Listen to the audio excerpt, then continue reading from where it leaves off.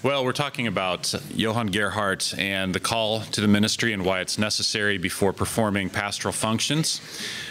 Um, one of the things that I've been really interested in is when we talk about what the call is, what did that actually mean for Gerhard? Um, a lot of times we come from a Missouri Synod background with a very congregationalistic sort of a, a, background where we think a lot of times our, our basic default position is to think about either the call of the congregation or else a call by bishops or something like that as like the two basic options. So it's interesting to just step back a little bit and let's let's look a little bit at what Gerhard actually means when he's talking about the call and the call process. The sixth volume of Gerhard's Loci Theologici, containing the commonplaces on the ecclesiastical ministry and on political magistracy, were first, uh, first published in 1619. And it's interesting to, to keep in mind what was going on with Gerhard at the time. The years leading up to 1619 were Gerhard's first years as a professor of theology at Jena, Yet he had been active in the pastoral ministry for 10 years before he came to Jena in 1616. On June 5, 1606, he was called to be pastor and superintendent of Heldburg by Duke Johann Casimir of Coburg. So there it's the Duke who called him to his position. Four years later, in December 1610, Gerhard had made his report of an inspection of the churches and schools of Heldburg that's a visitation process there. And he had come to conclusions about how they needed to be improved. Having successfully carried out this task, he was given the duty of conducting a general inspection of all of Johann Casimir's lands in Thuringia and Franconia in 1613. By 1615, Gerhard had become the general superintendent, which is the functional equivalent of a bishop, in Coburg and had written a church ordinance, or a church order is how we often call them, which came to be called the Church Ordinance of Johann Casimir, and it was later published in 1626. A lot of times those church ordinances were published under the name of the prince, whoever put it into effect, but it was Johann Gerhard that actually wrote it. And the basis for that he wrote it, he basically was borrowing from other church ordinances of the time, especially the, the 1580 electoral Saxon church order which had been written by Jacob Andreae, as far as I understand. This church ordinance that Gerhard edited and, and, compiled and wrote included chapters on many of the same topics that appeared in his commonplace on the ecclesiastical ministry, such as the call, examination, ordination, investiture, kind of like installation, I suppose, and pastoral duties. Of course, during his ministry, he had already begun writing his theological commonplaces. A church ordinance in the early in early Lutheranism was both more and less than what we have in the LCMS handbook. It was more in that it usually included a detailed statement of faith to which the ministers had to adhere. This was the body of doctrine, the corpus doctrinae. You can see a good example of it at the beginning of the 1569 church ordinance written by Martin Chemnitz and Jakob Andreae and published as Church Order in the Chemnitz's Works series from CPH. In Gerhard's church ordinance, instead of a body of doctrine, he explains that God's Word is the only rule of doctrine and preaching. He explains which ones are the symbolical books of our church, and he explains how the writings of the church fathers are to be regarded.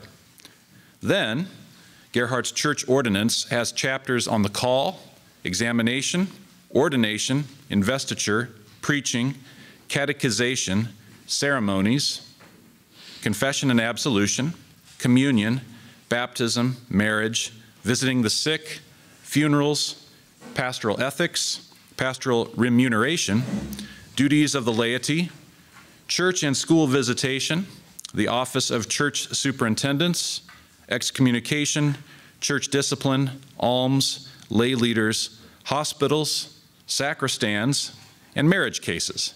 Quite a bit more than what we have in the LCMS handbook, but also LCMS handbook covers maybe some other things that this doesn't. Then after that, there's some more. In Latin, there are school regulations, because there were uh, Latin-speaking schools. Gerhard was not original in this. He basically took two previously existing church ordinances and edited them for the situation in Coburg.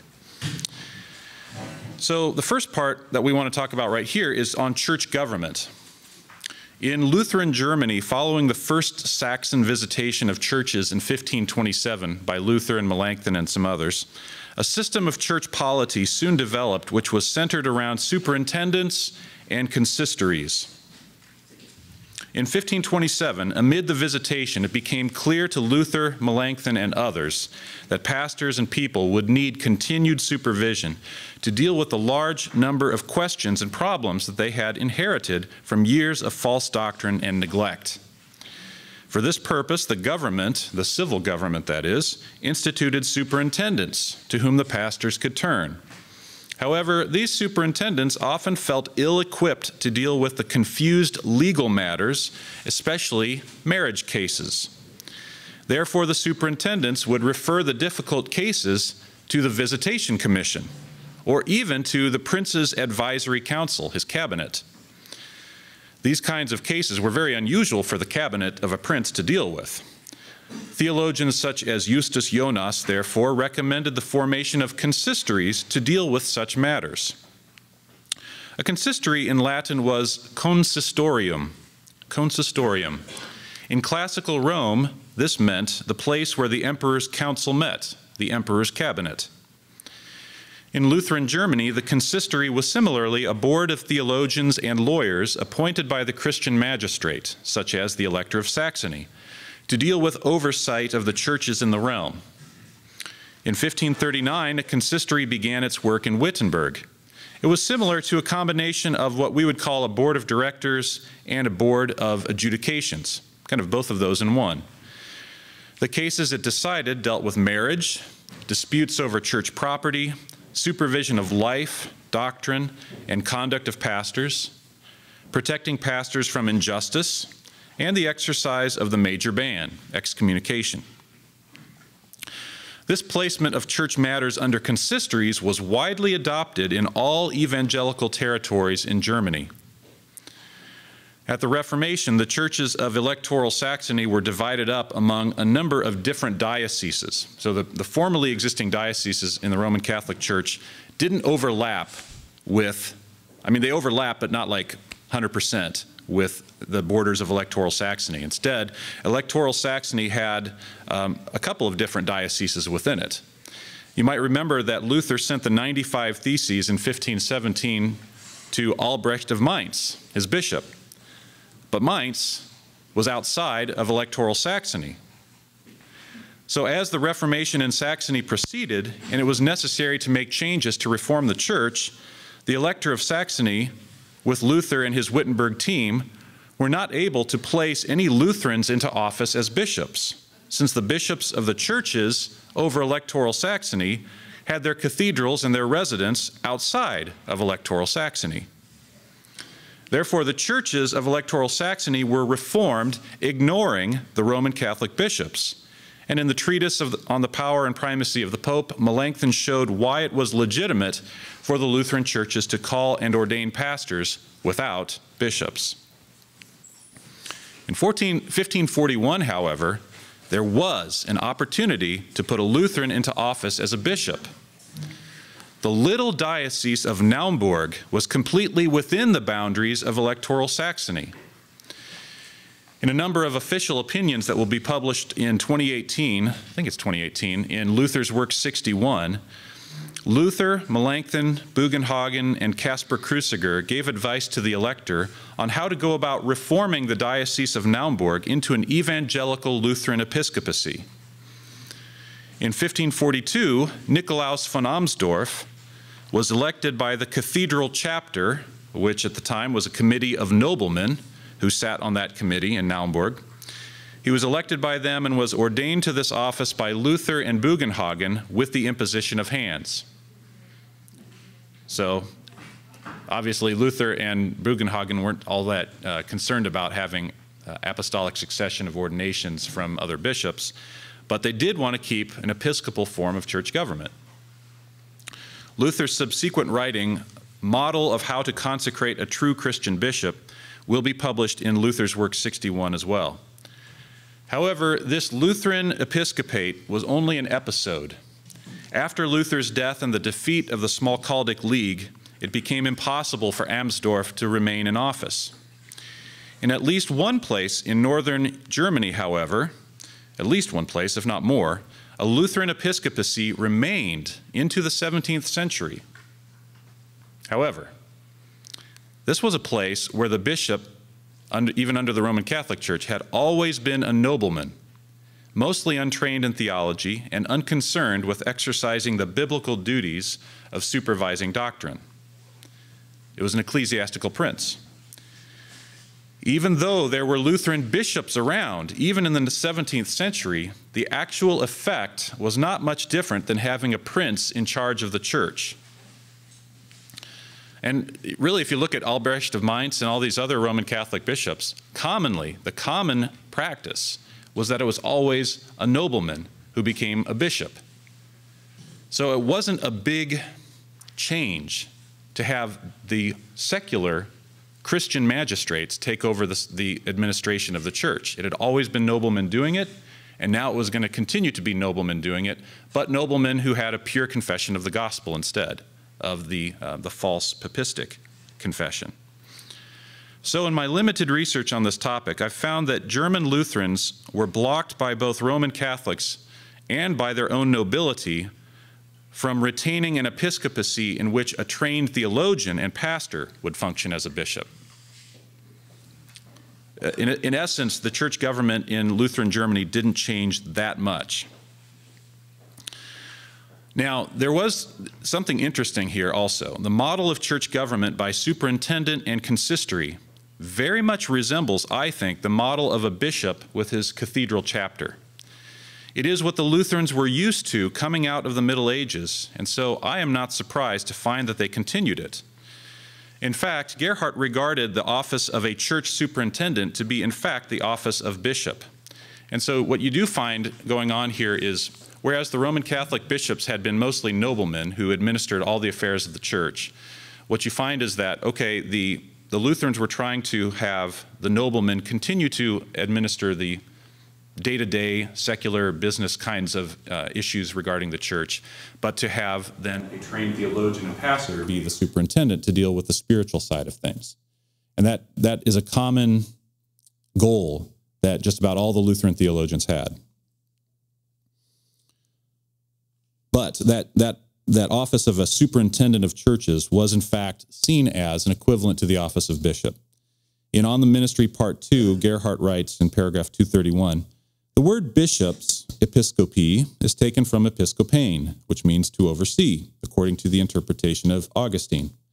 Therefore, a bishop to the Latins is the same as an inspector, or as we say in the church today, a superintendent. Ambrose translates it as superinspector, Jerome as superintendens. In the holy writings of the New Testament, the word bishop is assigned in general to all who perform the teaching office in the church. For since they have been placed as bishop by the Holy Spirit to feed the church of God, Acts 20 28, and since they are commanded to feed the flock that is in their charge, exercising oversight, 1 Peter 5 2, therefore they are rightly and deservedly called bishops because of this overseeing of the flock entrusted to them. However, to nurture good order and concord in the church, there formerly was established the sort of distinction among those pastors that some were entrusted not only with oversight over the flock entrusted to them, but also over other pastors and presbyters. As a result, it happened that the title bishop was attributed in a specific sense to those pastors who had the oversight over other teachers. Again, in responding to the charge that Lutherans hold to the Aerian heresy, that's not Arian, that's A E R I A N, the Aerian heresy, which taught that there is no difference between bishop and presbyter, Gerhard says. None of us says there is no difference between bishop and presbyter. Instead, we acknowledge that in order to encourage ecclesiastical good order and harmony, it is useful to preserve the distinction between bishops and presbyters in the church. Gregorius de Valentia, a Roman Catholic writer, acknowledges that we established such a separation. Gregorius writes, all Protestants admit at least three grades of ministers, namely bishops, whom they call superintendents, as having the care of church discipline, presbyters, whom they call ministers of the word and sacraments, and deacons, who diligently assist superintendents and pastors in the administration of the sacraments and in other duties. Gerhard continues by quoting Bellarmine, Robert Bellarmine, his great opponent. Bellarmine said, Chemnitz teaches that there are only three true orders bishops, whom they gladly call pastors, presbyters, whom they call elders or teachers or ministers of the word, and deacons. Gerhard then sums up and, and uh, adds one last comment. Yet, if we distinguish the order of bishops from presbyters, we are surely saying that there is some difference between bishop and presbyter. This does not, however, mean that Gerhard viewed bishops in the same way as his Roman Catholic opponents did. You can see the great difference between the two views not only in On the Ministry, but also in the book, The, uh, the Commonplace on the Church, where Gerhard disproves the Roman Catholic doctrine of an unbroken succession of bishops stretching from Peter to his day. Nevertheless, Gerhard holds that Lutherans at his day did hold to episcopacy, even in Germany, where they were not called bishops. The word superintendent was used to focus on the oversight of doctrine and perhaps also to avoid the legal meanings of the word bishop in Germany, especially after the, the, the legal agreements of the mid 1500s, in which um, the, the, uh, the rights of bishops, the secular rights of you know, these uh, territorial rights of bishops, were transferred over to the secular princes. So you couldn't really call your church superintendent a bishop, and so they had to come up with a different word. Yeah. Were you going to spend some time on, on that particular document of his disproving the apostolic succession? No, no, not not today, not today. But it's great. It's a great read. It's in On the Church. I highly recommend that book, um, the uh, the Locus on the Church. That'll that'll have to be for next time, right? So the next thing we want to talk about is the call process. The call process in Gerhard's district, Coburg, was handled mainly by the consistory and the superintendent. Candidates were not permitted to request a particular parish, much less were they allowed to give bribes to obtain it. That's specifically stated. The fact that that prohibition had to be mentioned means that it must have been regarded as a danger and may have happened. I, that's usually what happens. I don't think you'll find any of our LCMS documents saying that uh, no bribes are allowed, because that just is not, you know, it's not a very common sort of occurrence. If a pastor was suffering poverty or other troubles, he should tell the consistory, the ordinary visitors, or his superintendent. And the ordinary visitors would mean the uh, like the circuit visitor and his and the other uh, members of that visitor commission or committee, I should say. These people then, along with the patron of the parish, would, if the pastor was having some kinds of trouble in the in the in the parish, they would look into a translocation for the pastor. The patron of the parish was often a nobleman whose ancestors had put up the money to build the church or endow the parish pastor's salary so those patrons continued to retain rights. Now, the call process itself ran something like this Those who have the right of patronage in a vacant parish should nominate suitable persons to the consistory.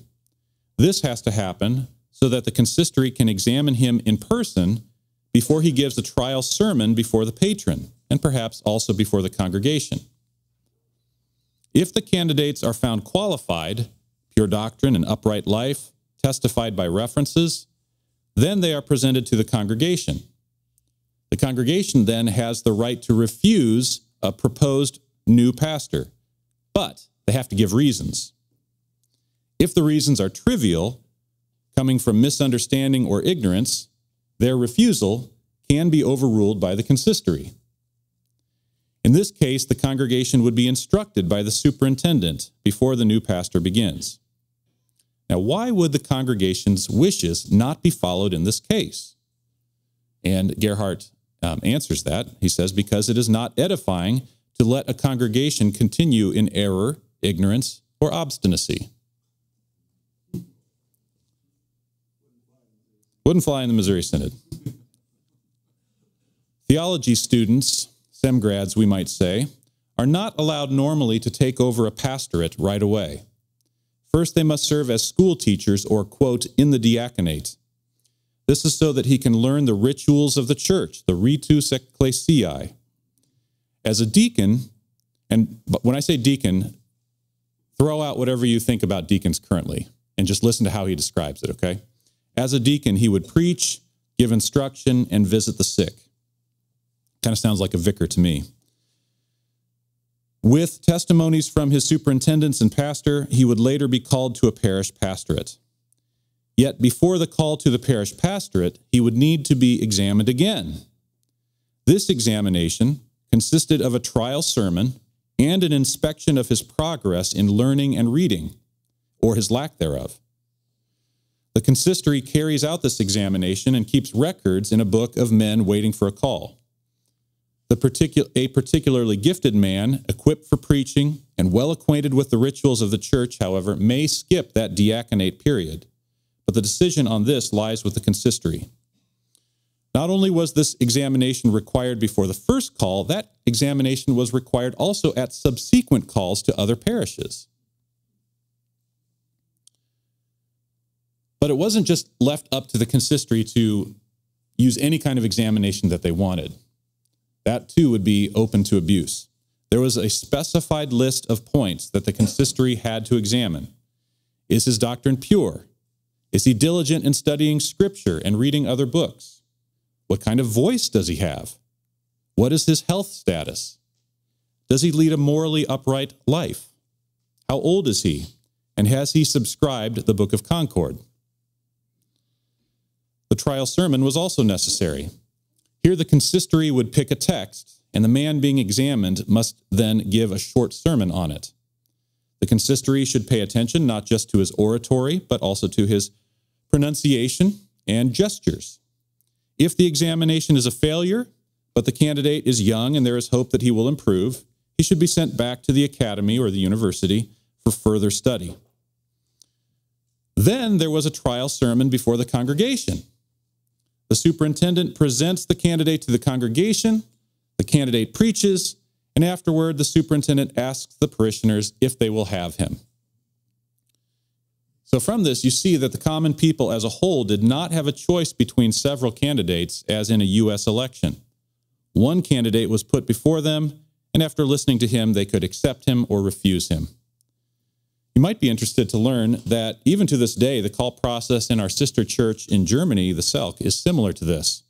The Kirchenleitung, which is similar to a consistory there, but they are elected to the church, uh, to that consistory. They're elected by the church instead of being appointed by the secular government. That Kirchenleitung presents one possible pastor to a vacant congregation, and the congregation decides yes or no. After the candidate has been cleared by the consistory and is accepted by the laity, he still had to receive confirmation by the prince in Coburg. So off to Coburg the candidate went, and there preached yet another trial sermon. After being given the okay by the prince, ordination and or installation followed. Gerhard's church ordinance states also that repeated examination was also required for preachers who had been serving for less than eight years even though they had already been ordained. This would have to take place if their progress in study was not already known by the consistory. So, what can we learn from this call process? Well, there was a lot of preaching. They took the ability to preach very seriously. The consistory was like a board of directors combined with a board of adjudication for a district the size of maybe four circuits. Our district presidents would be equivalent to um, to superintendents then. There were a lot more checks and controls on the purity of doctrine. There was also a clear program of continuing education and recertification. They did not have to take classes necessarily, but each pastor had to do it and demonstrate progress in his theological study. I also found it interesting that I did not see any requirement for a particular academic degree. So if you had studied on your own, apparently, and you were able to pass those examinations, apparently that was good enough. So that's what I found out about the call process at Gerhard's time. A little different than what we have in um, the Missouri Synod.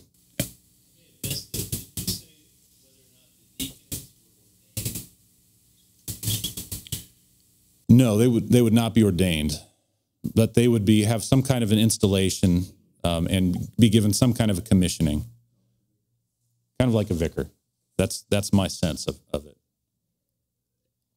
The other thing that um, instead of that diaconate period, a lot of times they would serve as school teachers or tutors. Yeah. I was going to ask, uh, you mentioned one of the, qualifications or one of the questions is how does he speak? Yeah. What kind of a voice does he have? What kind of voice does he have?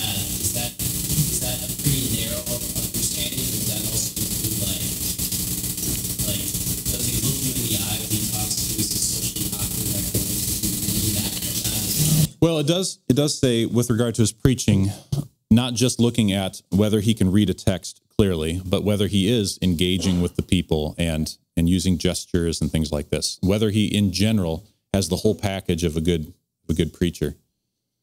That's what I do. not that I found. Didn't, I didn't find that, but you know, maybe if I was to look a little,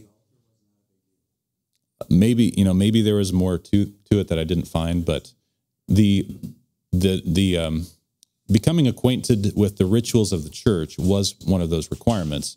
Was one of the reasons for having a diaconate period underneath a pastor to, to learn those things.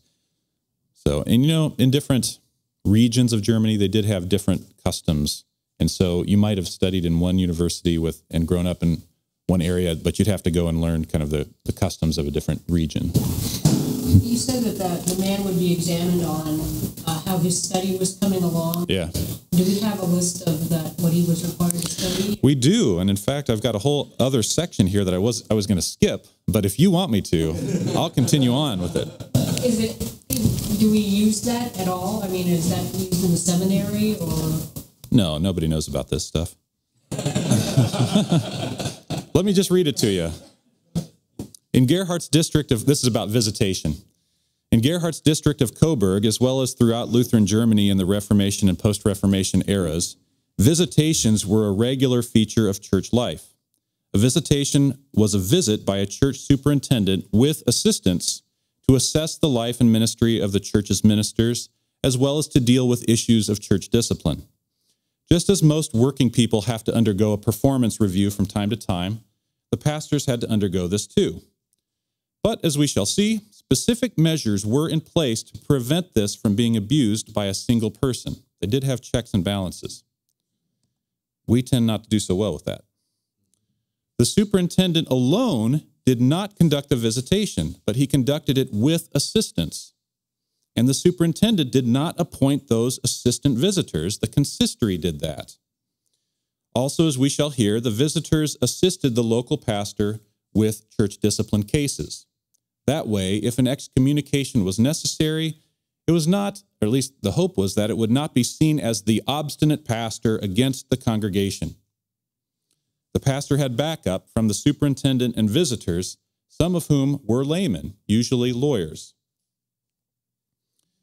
Gerhard's church ordinance describes the reasons for the visitation as follows The reasons for conducting visitations are to maintain the pure teaching of God's word, to maintain the uniformity of church rituals, to maintain ministers in upright conduct and the diligent performance of their office.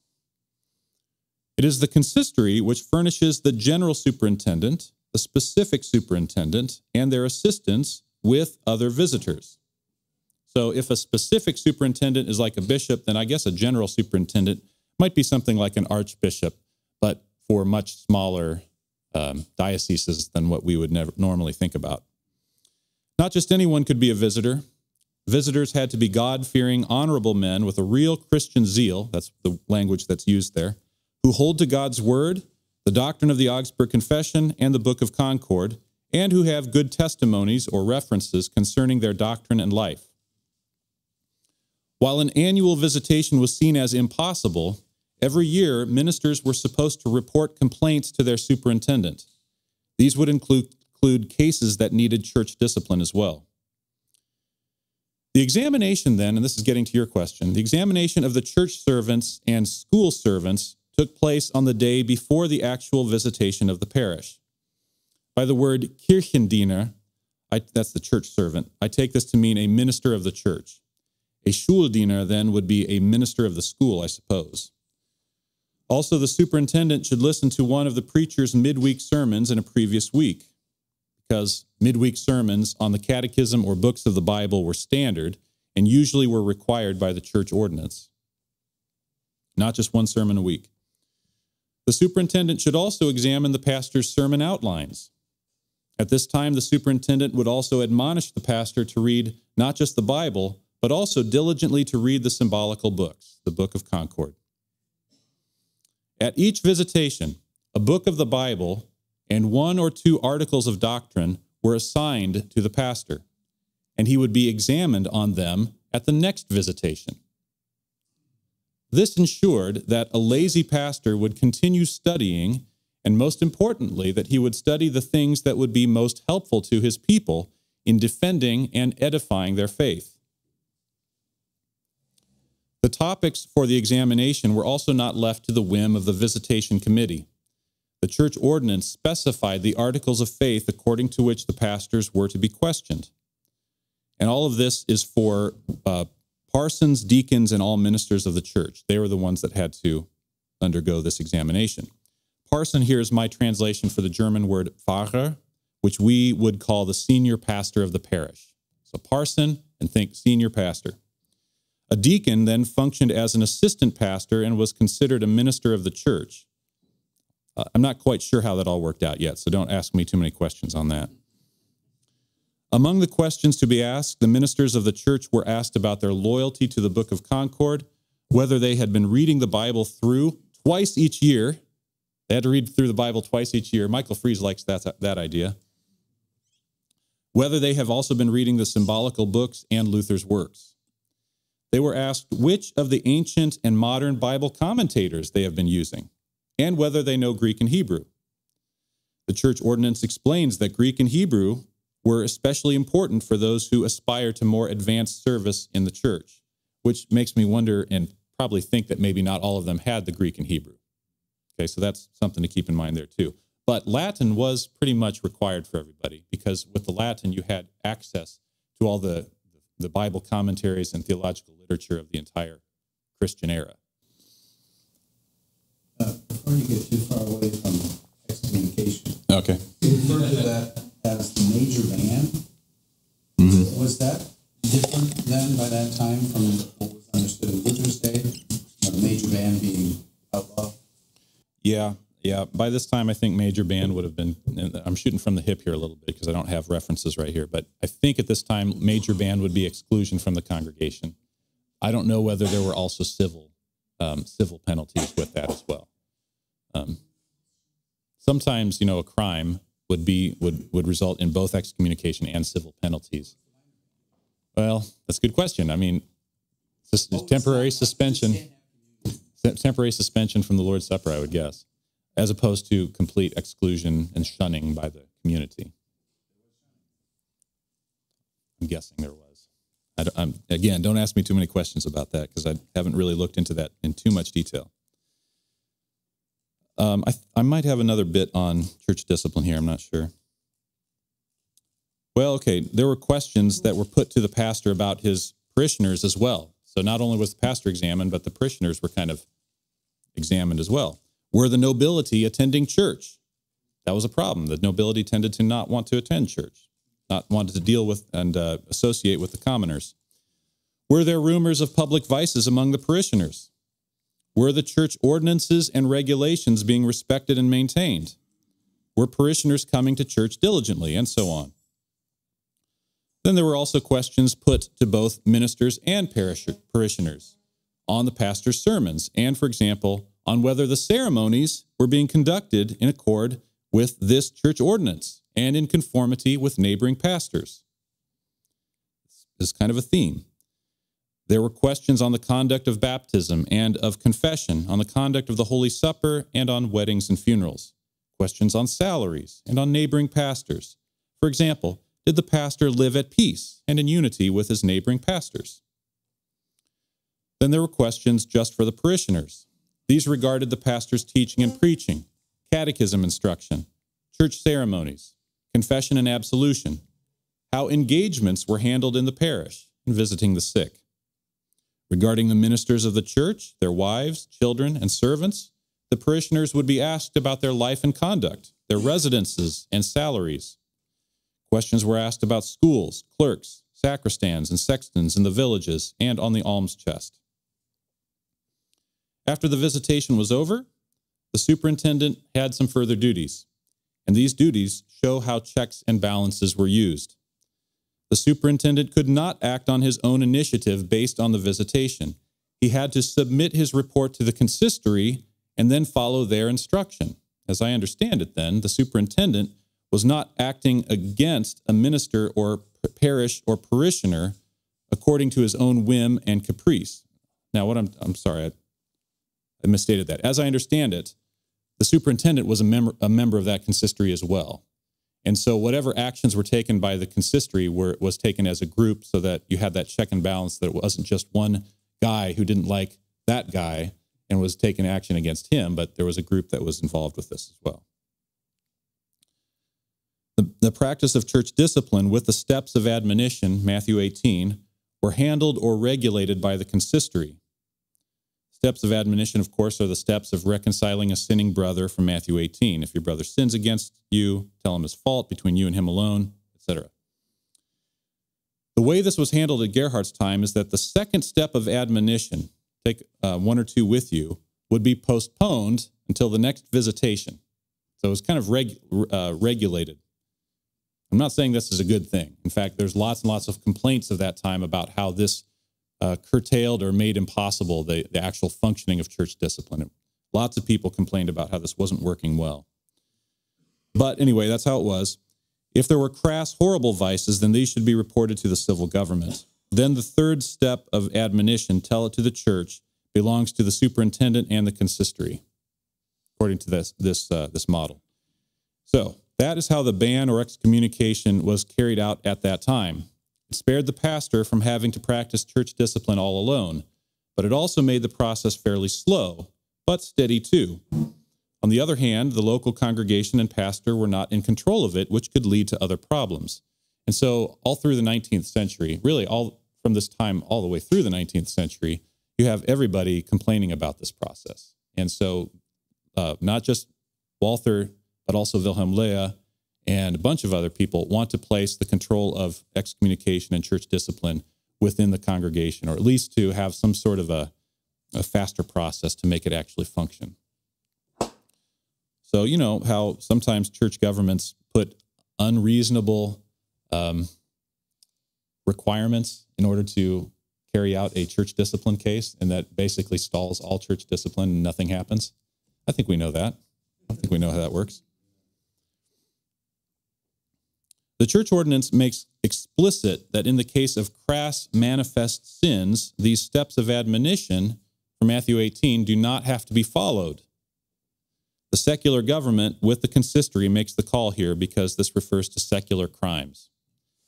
Conflicts sometimes arise between pastors, so the church ordinance deals with that as well. There is a limit to the visitor's and consistory's authority, though. Only what is well known may be judged by the visitors, quote, since the church does not give judgment on hidden things. Also, unproved accusations must be ignored, and has been, as has been noted, judgment is never the responsibility of one man alone. It is always exercised here by a committee. This way, the whim of a single man, hopefully, cannot do much harm, and is also not subject to the judgment of an uncatechized population.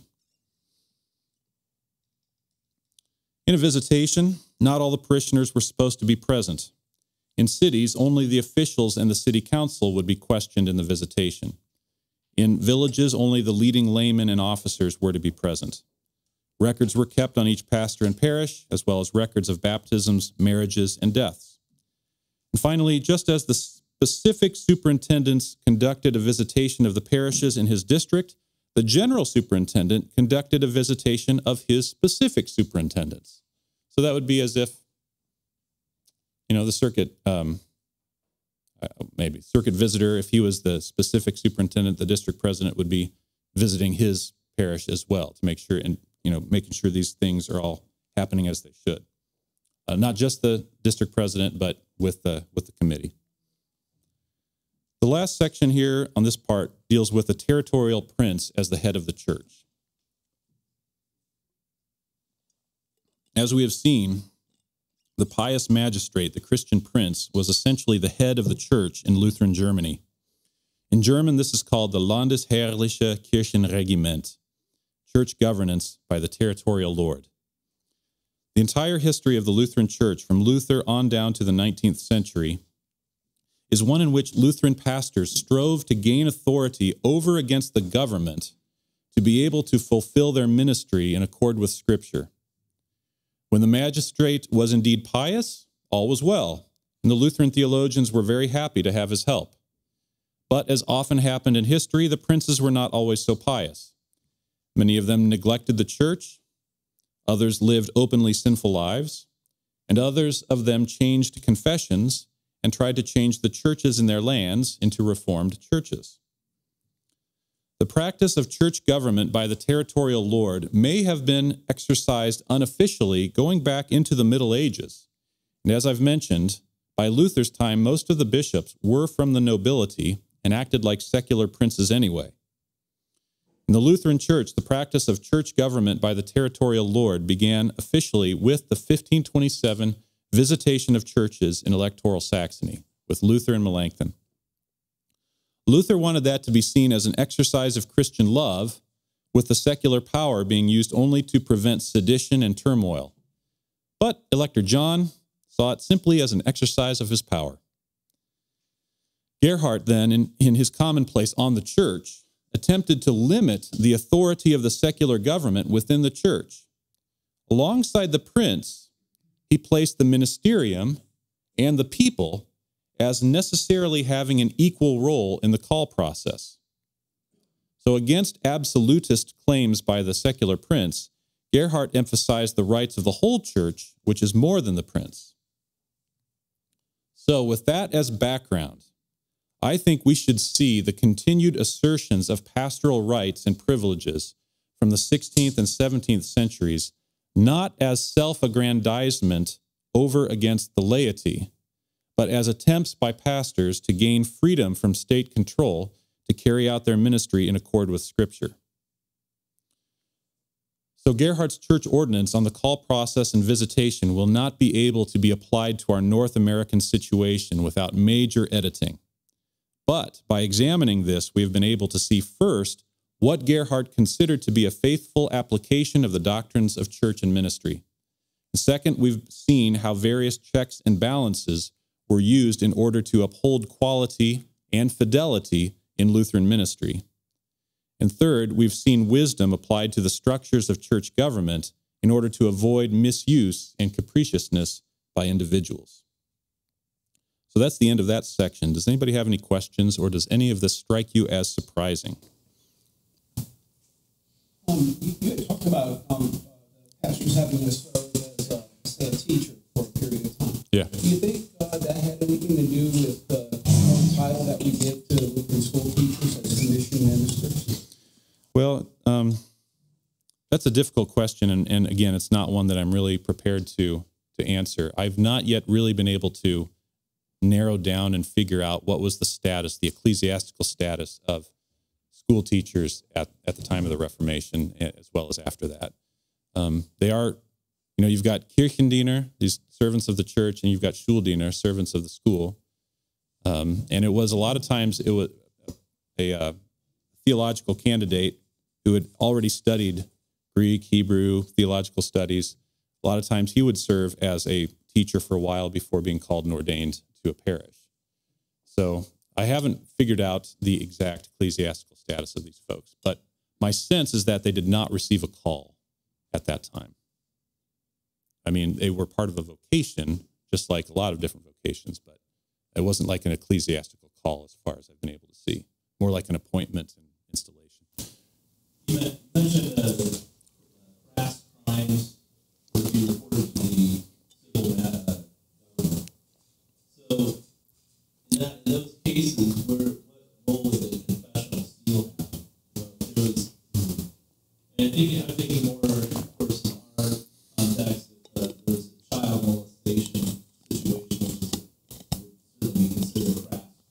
Mm-hmm. Um, you know, that, that, uh, we're bound by the professional seal, but then sounds like they would be reported. Well, I think by crass, they're they're talking about manifest crimes, things that are well known. You know. Yeah. Yeah. Okay, go ahead. You, you talked about these superintendents and visitors, and you said that a certain percentage of the visitors were lawyers. Yeah. The balance then would have been clergy themselves. Yeah. And if so, did they have their own parishes, or was this their full-time occupation? Oh, that's a good question. I'm not 100% sure on that. My my sense though is that when Gerhard was doing all of these things, he was probably um, at least one of the pastors at a congregation, and would have would have had regular preaching duties there. And uh, you've got a, an answer to that? No, I was just waiting. Okay. Well, then, my, my sense is that he would have had regular preaching duties at, at a congregation, whether that would have been the, you know, whether he had the main care of souls at that congregation or whether or not. My guess is that probably not. He was probably one of the preachers at a congregation. I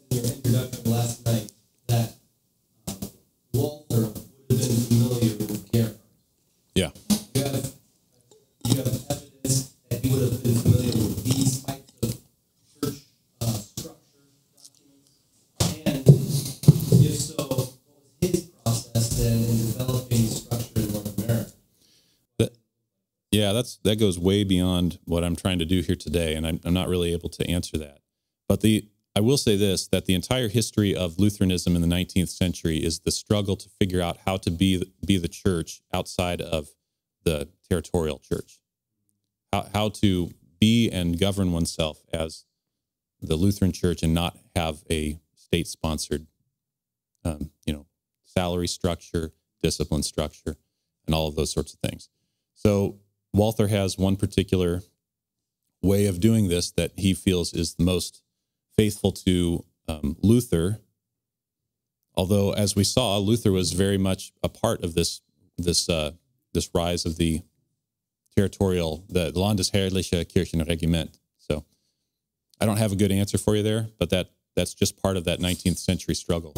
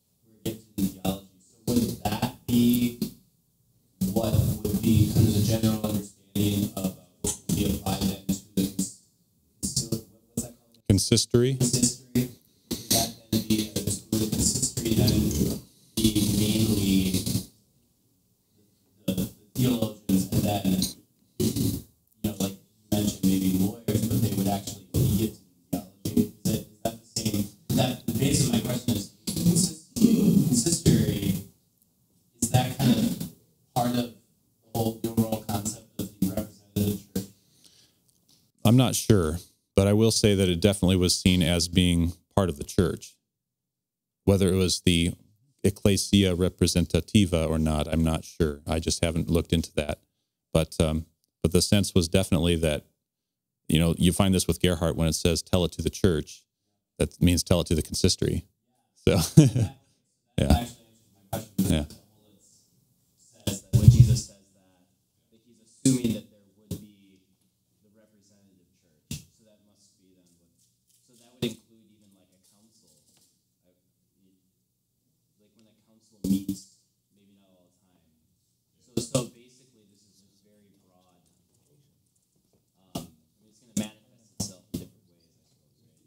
Yeah. I think it's important to keep in mind that for Gerhard, and I think for all the Lutherans from Luther on on until Walther's time, thought of the church in terms of the regional church. And it's the regional church that they really are talking about when they say our church teaches this or that. They're not necessarily, they're not, they're probably not talking about, you know, St. Paul's congregation in Kewanee. They're talking about, you know, the, the Central Illinois district. Okay. All right. Um, maybe one last question, then we'll launch into something else. We've got how much time? We've got like 40 minutes still. Oh, you've got a question? Mm-hmm. not entirely on point, but in every certain correctly, the uh, survived in some of the areas of Scandinavia. Yes. And there, what was unique about them is that, you know, you had the, the Roman Catholic clergy that were forced by the king to become Lutheran. And, um, and, and then after that, you know, were they nobles at that time? Well, what you had, what you then had happen was, in fact, some of those bishops in the Scandinavian countries actually were decent theologians and weren't just, weren't just political players.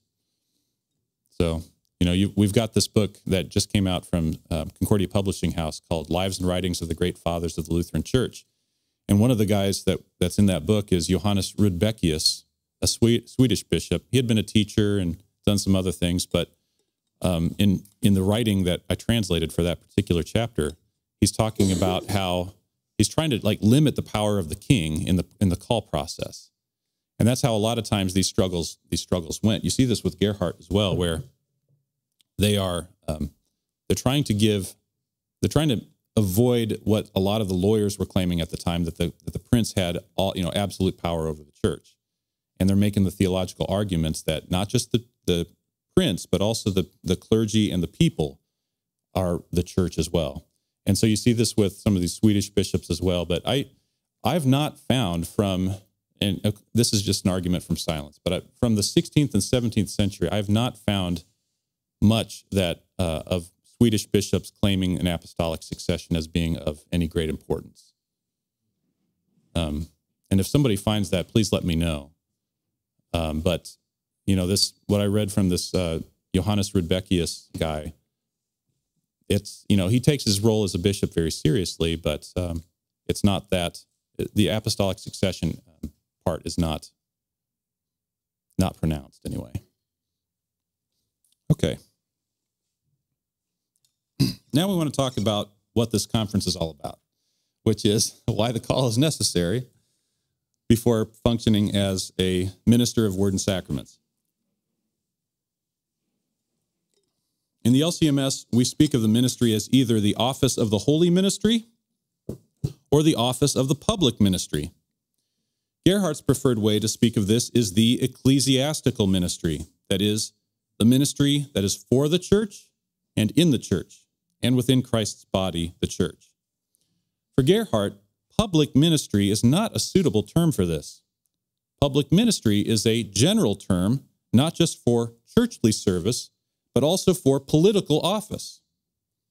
Remember that in Romans 13:4 the ruler is quote God's minister to you for good. It is called public because it benefits the people or the public. Even to this day, high ranking officials in the secular government of the United Kingdom and Germany are called ministers. And uh, when I was an exchange student in Germany, they had one of the students, uh, one of the student officers was the the uh, the beer minister, and there was a papier minister and, and others like this. And the funny thing was is that that didn't necessarily raise a, a chuckle from people because it was just kind of seen as the person who's in charge of providing the beer or providing the paper or what have you. Sounds like a Wells position. Well, and so what I'm what I'm trying to say is that the word minister in for for Gerhard uh, was broader than what we would consider a, a churchly minister. It could also be a, a, a, civil, secular kind of a position, but it also was a, it was always a position uh, with official duties.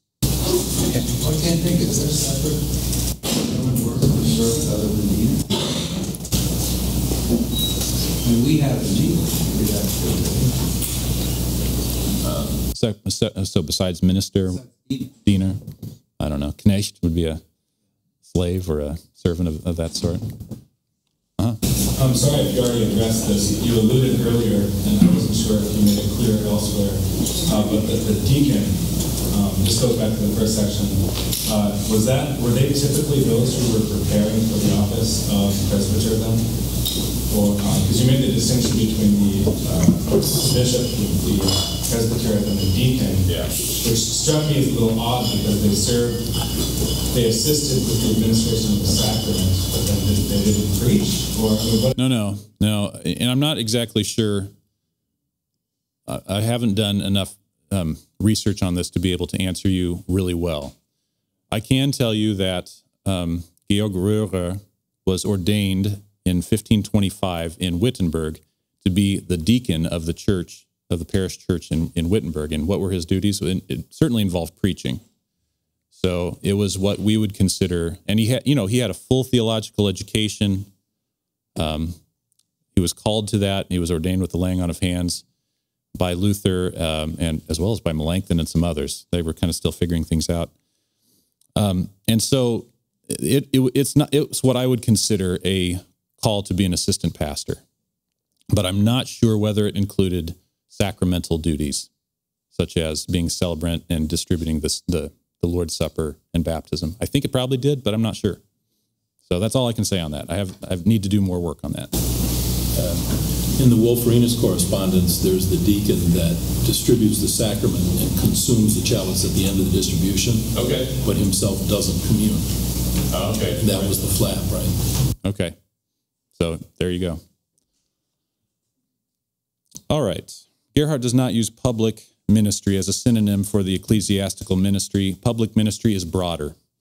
So the ecclesiastical ministry is more specific, and therefore I think I would suggest that we too should adopt this language and avoid the ambiguous public ministry language. Now, before yeah, before we talk about the call to the ecclesiastical ministry, we should talk about whether there actually is such a thing as the ecclesiastical ministry. Gerhard makes an interesting argument here. His argument is that since there are divine promises for the preservation of the church until the end of time, the same promises speak also of the preservation of the ecclesiastical ministry until the end of time.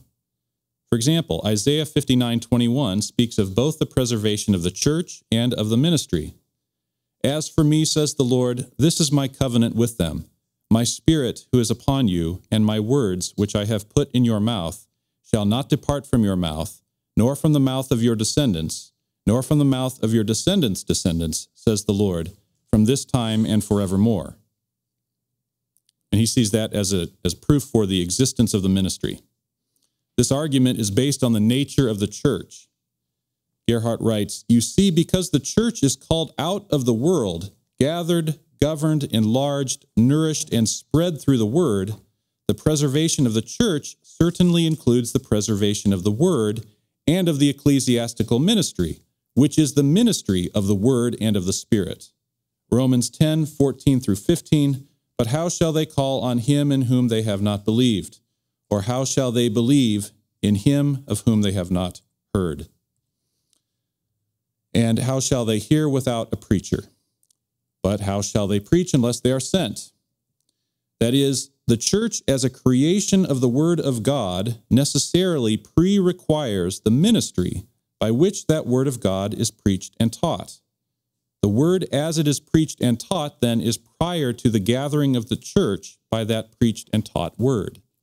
So wherever we have descriptions in, in Scripture of the Word gathering people together, that pre requires a preacher. In proving that there is an ecclesiastical ministry, Gerhard shows that from the time of the patriarchs in the Old Testament, there has always been an ecclesiastical ministry established by divine command. At the time of the patriarchs, the firstborn sons performed the priesthood by divine command. Later, Moses transferred the priesthood to the tribe of Levi by God's command, quote, so that no one except those who would come from that tribe performed the priesthood. This arrangement lasted until Christ. Christ taught, but did not take for himself any political office or function, showing that the distinction of the ecclesiastical ministry is one that's distinct. So the ecclesiastical ministry is distinct from political rulers. Then Christ sent the apostles as his ambassadors, and currently he gives shepherds and teachers to his church, Ephesians 4:11. When Gerhard proves that there is an ecclesiastical ministry, what he's doing is showing that there is a distinction in duties between ministers and the rest of the members of the church. One way that he shows this is by citing God's threats and judgments against those who usurp ministerial functions without a divine call. Now here he's not really proving, he's not he's not yet trying to prove that lay people should not take up the ecclesiastical fun, the uh, the the word, you know, to uh, publicly proclaim the word and and, and uh, distribute the sacraments. He's just trying to show that there is a distinction. He writes, finally, God's serious complaint about those who run but were not sent, Jeremiah 23, 21, and his threat to punish those who thrust themselves into this office without a call, as well as the punishment inflicted by God on those who presumed to usurp a function of the ministry without a call, 1 Corinthians, 1 Kings 13, 2 Samuel 6, 2 Chronicles 26. I say all these reveal clearly that this duty is distinct from the other orders of the church. The other orders then would be what? Do you know?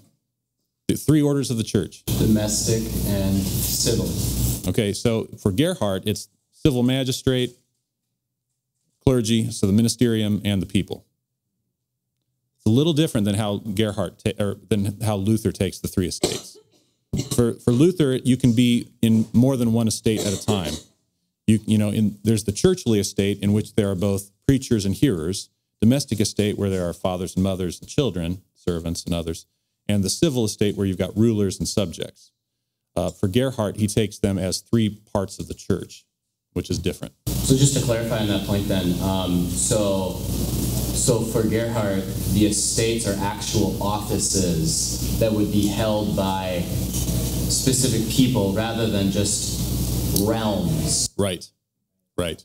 And the reason that he makes that, as I explained earlier, was in order to try to carve out a place for the, the ministry and the people in the call process and in the governance of the church, so that it wasn't an absolutist um, civil, uh, civil, you know, prince ruling the church and making all the decisions.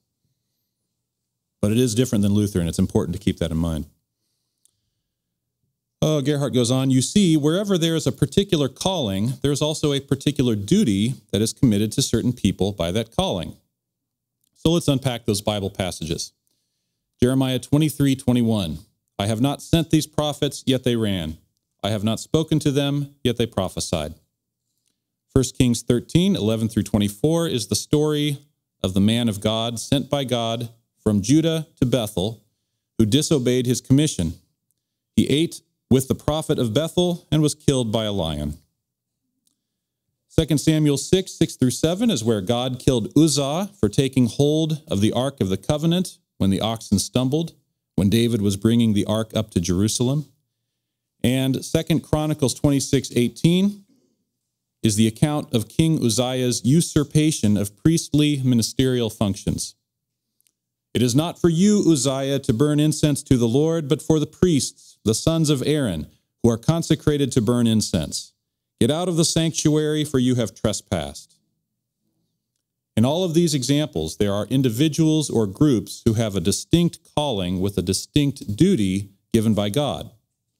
As Gerhard explains it, this shows that the ecclesiastical ministry is distinct from other orders that God had commanded, such as the estate of political rulers.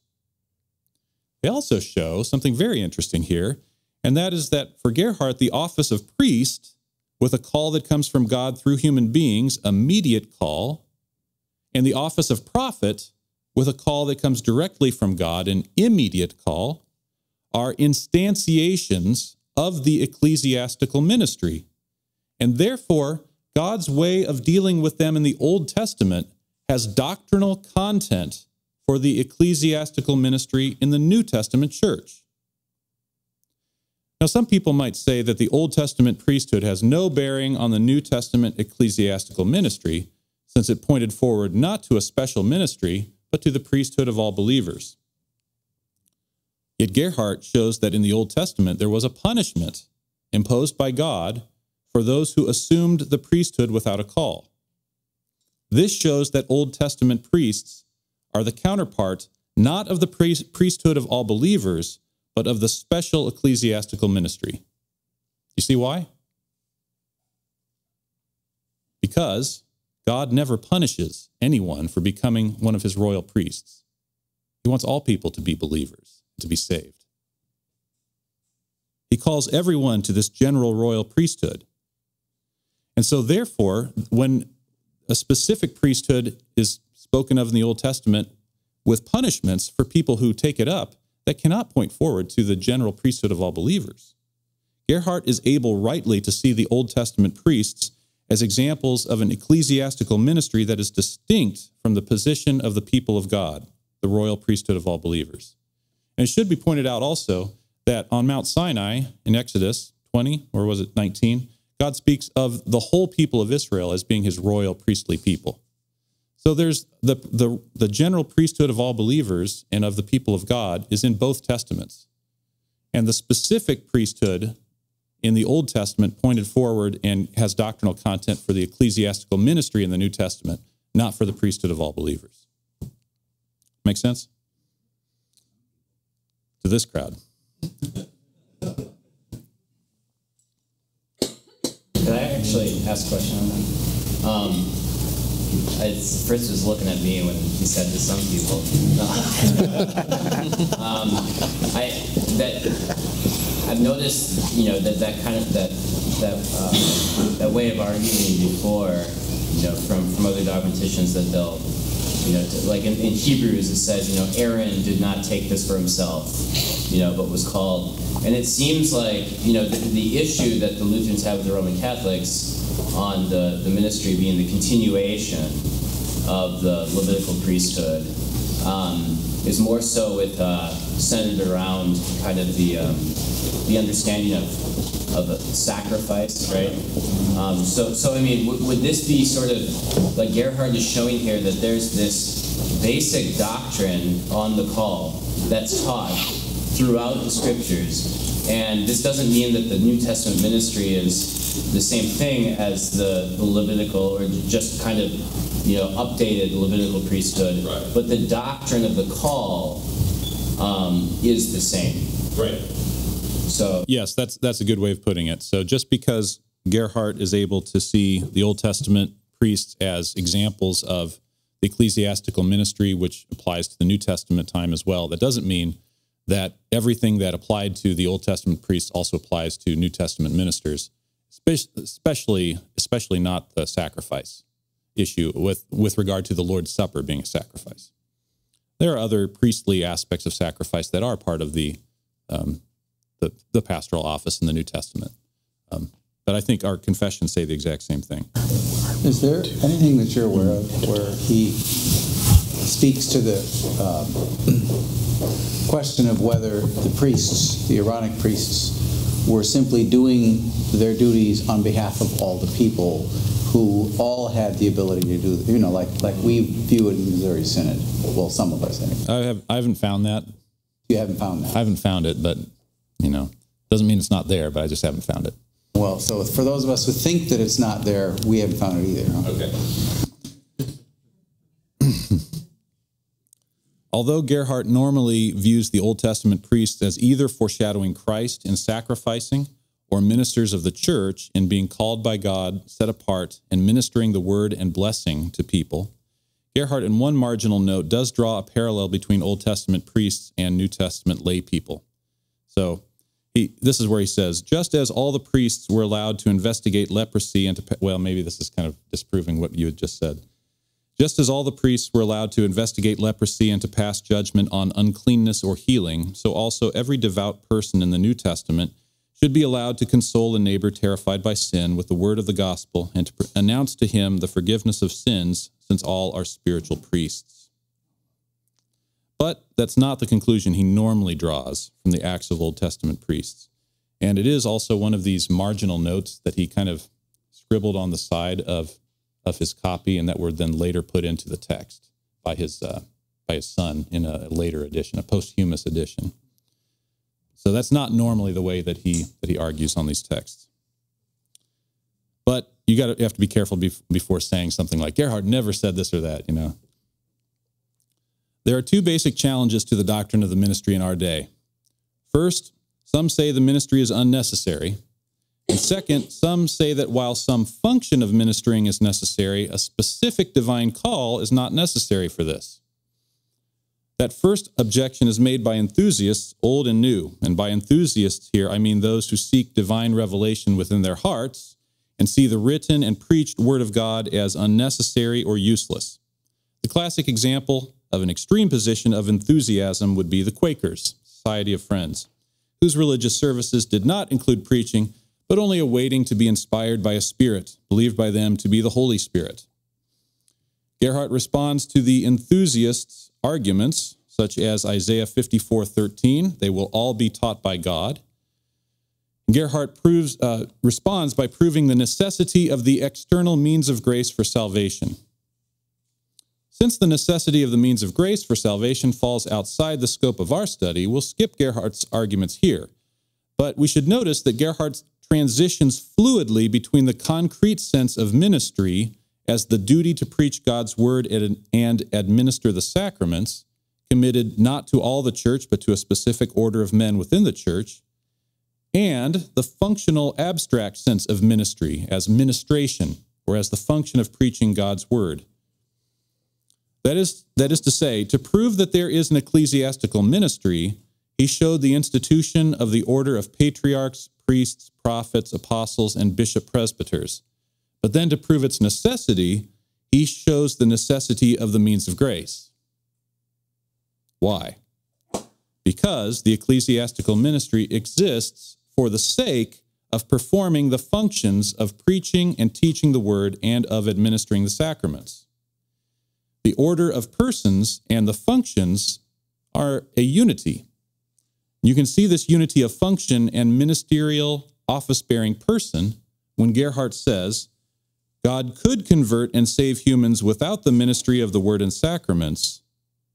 They're functional, you know, ministration of the word and sacraments. But it pleased his wisdom to deal with us not directly, but through the word and sacraments, which he committed, and he committed the stewardship of these mysteries to the ministers of his church. Okay, so what I was trying to show there is that there is this unity between the function of the ministries, uh, uh the function of the ministrations that the pastors do, and those ministers themselves. Um, would this would this have a connection between when when he when he would talk about like the call being necessary as a mandate, and then ordination being necessary for decorum or for good order? So like the actual order then. So the fact that the call is just the the the, uh, the existence of the ministry uh, of the preaching of the gospel, and uh, but then the order or the decorum or the good order is I mean, we used, we usually think a good order is just purely pragmatic, whatever works. But it seems like this good order is actually there's a rhyme and reason to it. There's an actual order that he has established. Um, would that would that so would that have that connection then between the the call being necessary by God's mandate? I think it's a different or I think it's a different question. That's a different question. Um, I'm not going to get into ordination too much. I will say this: that for Gerhard, ordination is not an uh, but it's part of the call process. But the the laying on of hands, which is a ceremony that goes with ordination, that could that could be seen as an adiaphoron, or not an adiaphoron, but as a ceremony that is not necessarily part of of ordination.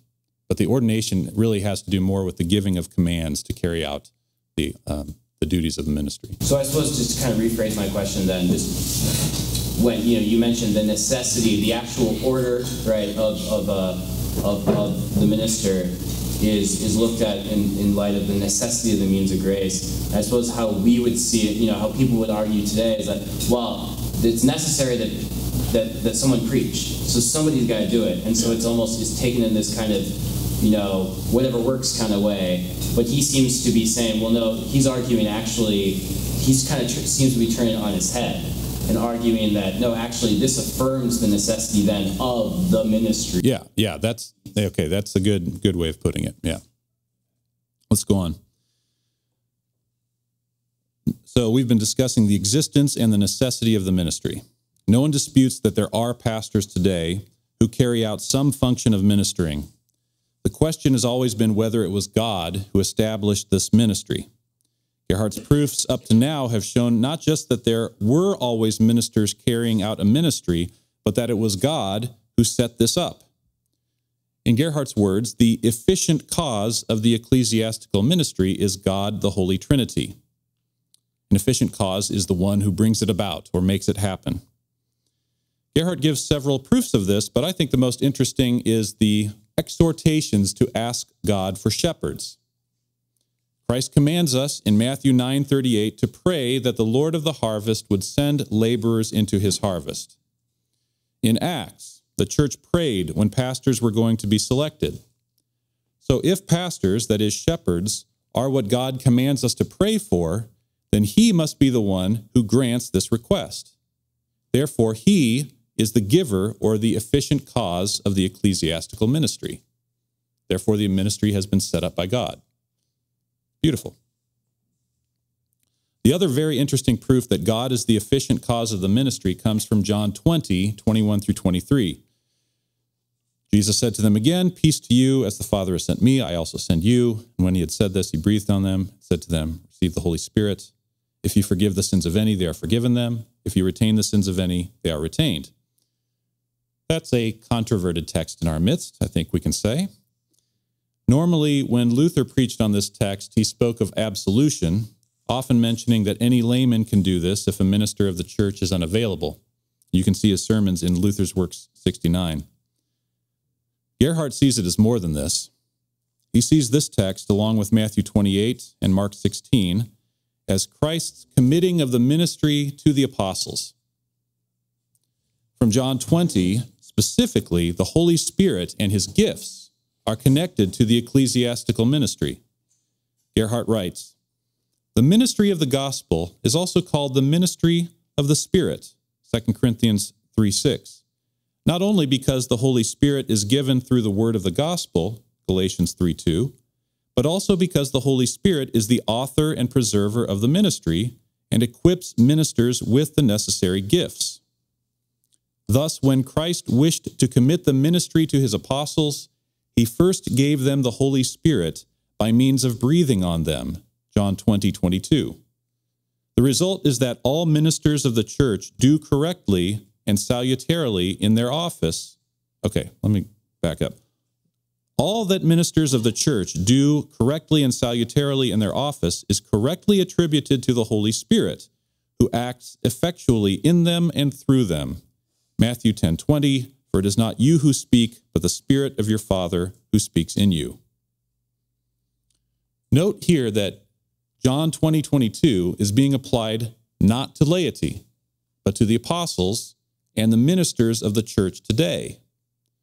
Also, the text speaks of committing the ministerial duty to the apostles and equipping them with the special gifts of the Holy Spirit for their ministry. And all of those items taken together according to Gerhard, show that God is the one who established the ecclesiastical ministry and that he has entrusted the giving of the necessary saving gospel and sacraments to ministers of the church.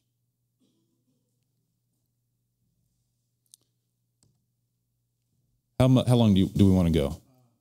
About three minutes, if you got, is this a good stopping place? It is a good stopping place. Okay, well, I do have a question, so maybe we can do that quickly. I'm wondering, and maybe you'll deal with this later, but I'm wondering, since there seems to be a distinction between Gerhard and Luther on forgiving sins, is there also a distinction between them on the question of what is the office of the keys? Is that equivalent to the office of the ministry for Gerhard, whereas perhaps not for Luther? I don't know. Sorry. Okay. Well, uh, we'll maybe talk about that later. In the your discussion about the, the priesthood, Old Testament to New Testament, does Gerhard only see the connection there in terms of the the call and the distinction between ministers and laity, or like could you also see with Gerhard other um, prefigurements in vestments and liturgical ritual. Um, well, I went by it pretty quickly, but the main the main continuities that he sees are the teaching function of the Old Testament priests, which is kind of understated in the Old Testament, but I think it's there. um, the praying aspect and the blessing aspect. Um, but the sacrificing aspect of the Old Testament priests points to Christ and not to the New Testament ministers. So that's the way that he takes it.